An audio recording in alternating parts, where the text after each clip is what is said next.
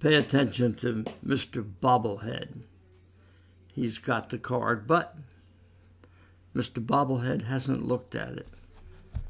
And Siri hasn't looked at it.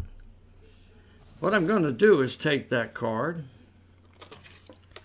and I'm going to cut it right to the middle of the deck. Now, nobody knows where it's at. But I'm going to get help from my friend. Hey, Siri. Hmm? Pick a card. Choosing. It's the seven of diamonds. The seven of diamonds. Let's take a look. You'll need to unlock your iPhone first. That's okay. I already got it. You you picked the seven of diamonds. Now that is strange. I'm gonna put that seven of diamonds right there.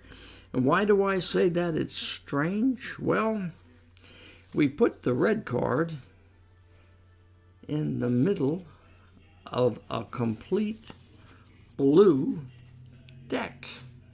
Completely blue. And what are the odds that the only red card in there was discovered by Siri?